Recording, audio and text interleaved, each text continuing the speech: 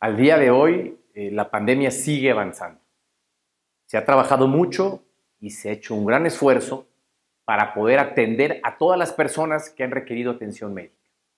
En el Estado de México, hoy llevamos ya casi 19 mil casos positivos, 1.593 hospitalizados, 389 pacientes intubados y lamentablemente 1.621 personas han perdido la vida.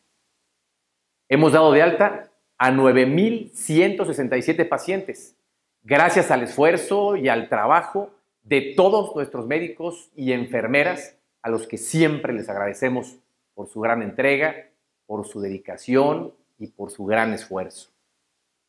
Uno de los retos más importantes que tenemos es que podamos seguir teniendo la capacidad hospitalaria para atender a todos los enfermos. Y eso depende en gran medida del ritmo al que crezcan los contagios. Actualmente tenemos una ocupación del 77% en nuestra capacidad hospitalaria y están ocupadas el 68% de las camas de terapia intensiva. Gracias al esfuerzo que todos han hecho por permanecer en casa y mantener las medidas de higiene, de sana distancia, hemos logrado que el ritmo de contagios no sea peor de lo que hasta hoy ha sido. El avance y la mejoría en las próximas semanas depende del esfuerzo que hagamos hoy y durante los próximos días. El regreso seguro a nuestras actividades también depende del esfuerzo que hagamos hoy y durante los próximos días. ¿Y por qué depende de lo que hagamos hoy?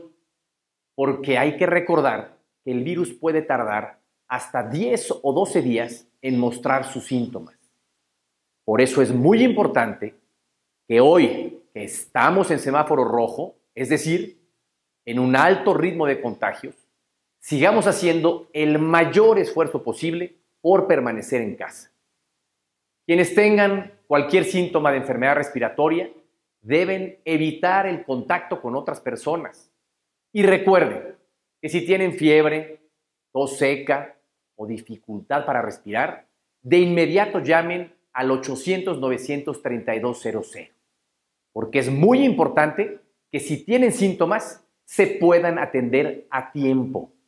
Una atención oportuna puede hacer la diferencia para poder vencer a esta enfermedad. Quiero recordarles que la mejor manera de evitar los contagios es mantener la sana distancia, las medidas de higiene y usar el cubrebocas.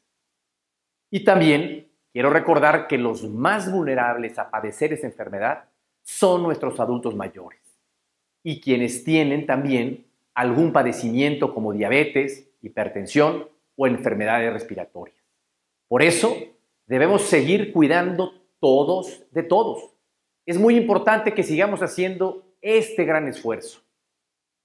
Les pido que sigamos haciendo el mayor esfuerzo posible. Muchas gracias.